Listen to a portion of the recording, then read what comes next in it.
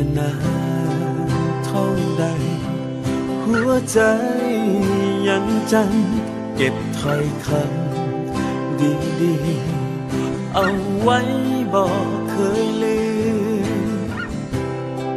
พอเป็นอดีตเคยซึ้งใจ ดังดอกไม้แง้มบานที่เคย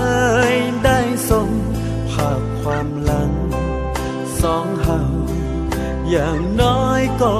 สุขใจ แม้เจ้าจะเคียงข้างภัยในความจริงเพราะเจ้านั้นเป็น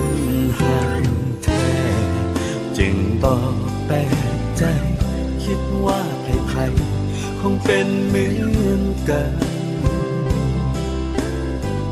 ความหักความซึ้งเคยผูกพัน ข้ามพ้นคืนเดือนเปลี่ยนวัน แต่ในความฝัน นั้นมีดวงใจ ในวันนี้ดวงใจ จะมี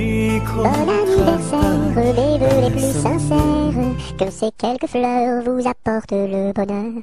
que l'année entière vous soit douce et légère, et que l'an fini, nous soyons tous réunis.